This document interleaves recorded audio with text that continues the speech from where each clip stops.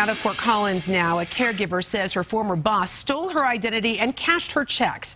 But that boss, a realtor, says the caregiver is trying to blackmail her. Denver 7 reporter Lance Hernandez talking to both sides. Police have been called many times, and now the courts are involved. Dawn Johns said she was hired last October to take care of the realtor's disabled daughter in this house. She said everything was fine until February when she tried to get her W 2 form. I learned that um, my information had been changed to her address and that there were current checks being issued for a lot more than I was ever paid. The realtor, Mimi Kaimakidis, said the agreement was that any money Johns made as a caregiver would go toward her daughter's care, and in return, Johns would live at the house, expenses paid. That's a blatant lie. Johns said she'd never agree to that.